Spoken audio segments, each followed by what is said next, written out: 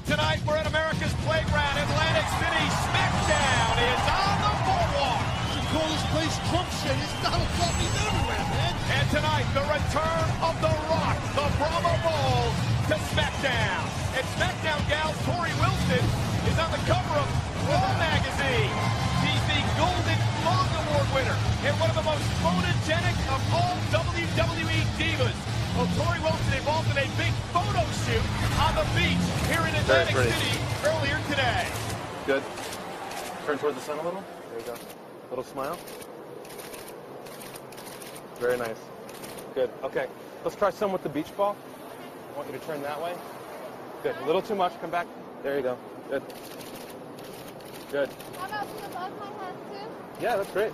Why don't you try putting it in your mouth? Yeah, I heard you guys were going to be down here today. Why are you shooting Torrie Wilson?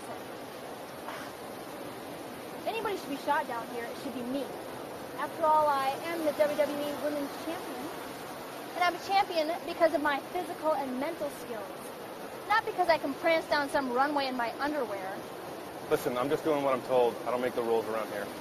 Molly, come on, what's your problem? We're just doing a photo shoot. Oh, Torrie, just because you won some Golden Thong Award, a contest which I protested, might I add, just because you won some Golden Thong Award doesn't make you special. You know, if you want to feel special, if you want to be a real champion and win a real award, then maybe you'd like to wrestle me for the title tonight.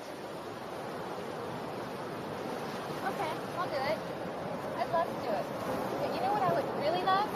I would really love you to stick around for this photo shoot because you know what? I have a special pose just for you. Watch this. Very pretty. Hey, Molly, you don't want to watch this last right. Great. See you later, Molly. Right here? There you go.